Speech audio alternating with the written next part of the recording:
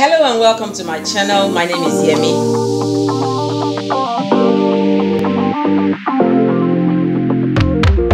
Just researching that one plant, you know.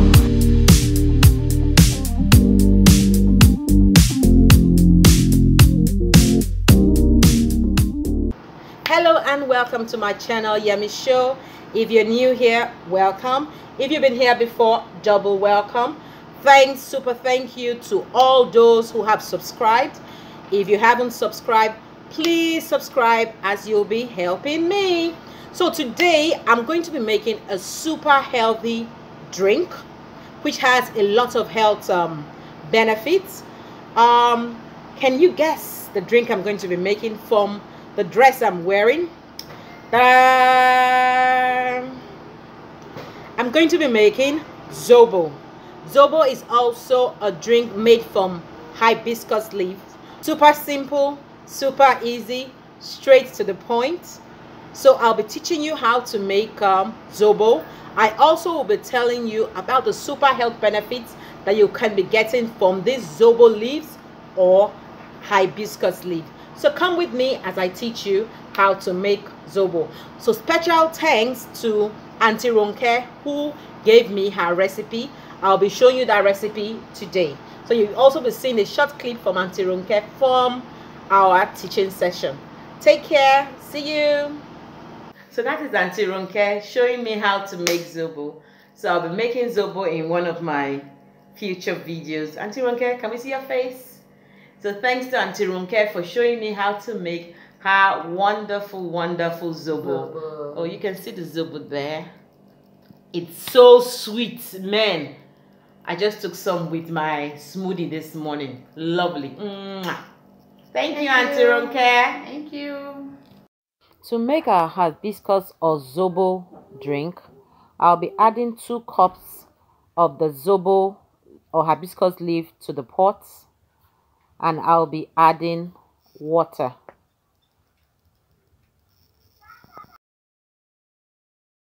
Also, I would add cloves, which is locally known as canaforo. In this video, I actually forgot to add it earlier.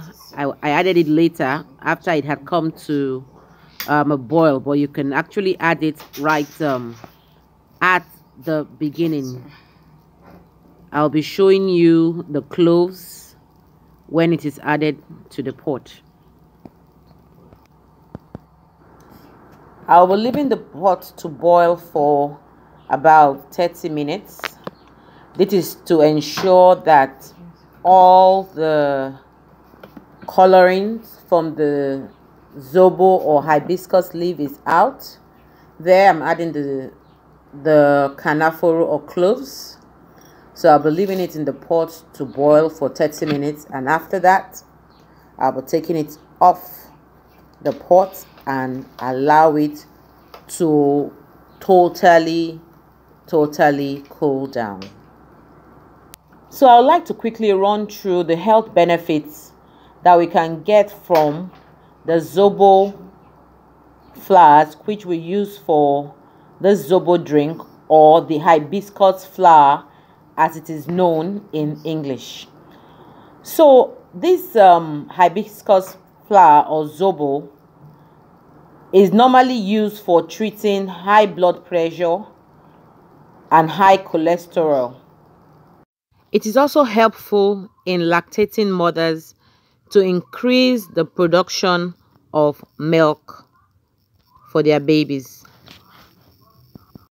So this is what a lot of people actually use, you know, this um, Zobo plant or hibiscus plant for. So it's for high blood pressure.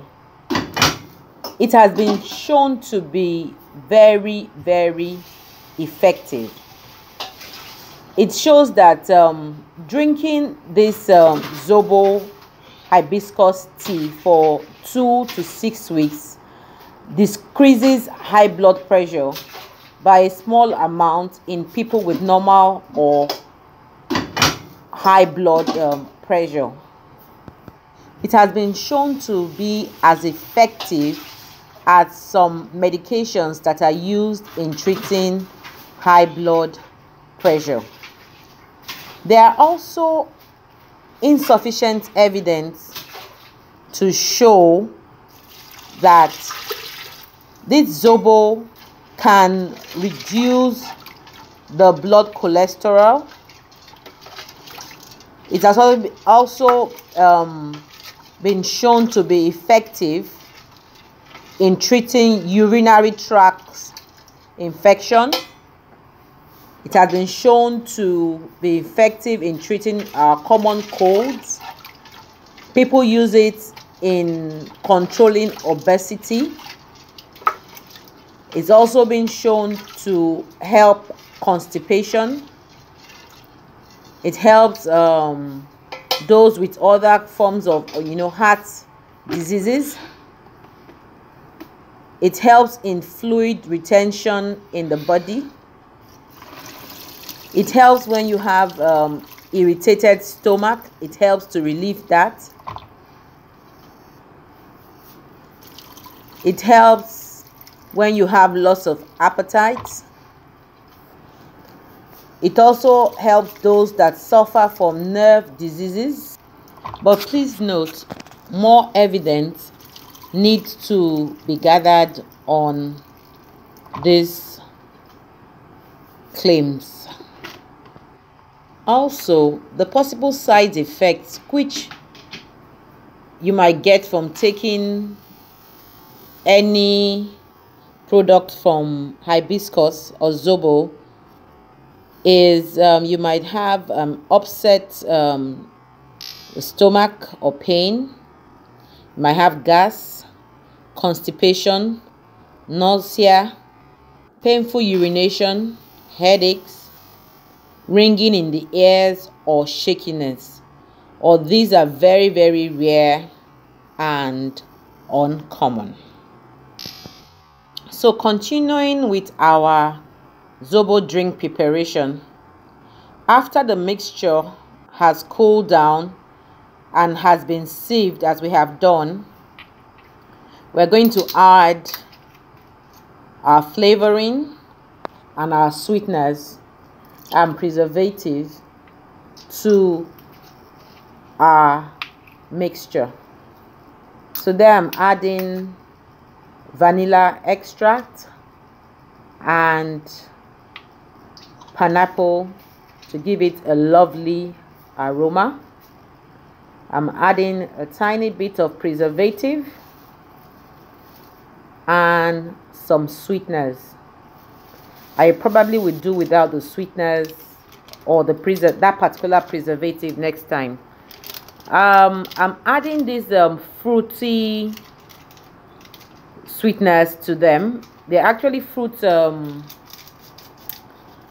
um, fruit um, powdered mixtures that we can make into drinks on their own.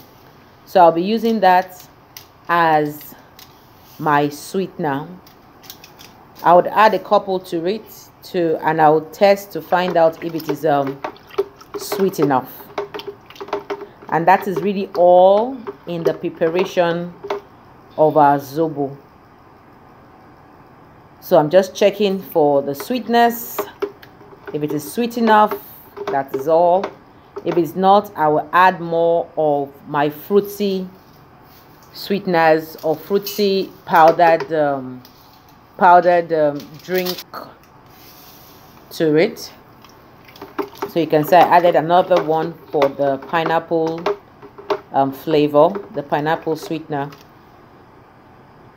You can add sugar if you want but for me it is optional because the drink mix which I am using is actually very very sweet. So I won't be adding sugar.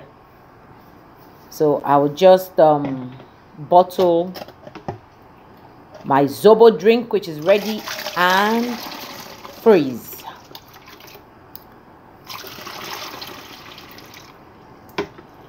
So that is all for preparation of our Zobo drink. So I'll just bottle them and put them in the refrigerator or as my own case I'll put them in the freezer because I want them to cool faster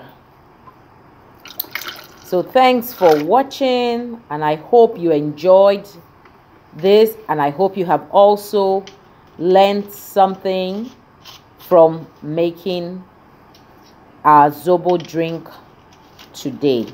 So thanks for watching and hope to see you in our next video. Please subscribe if you haven't. Take care and God bless. Bye.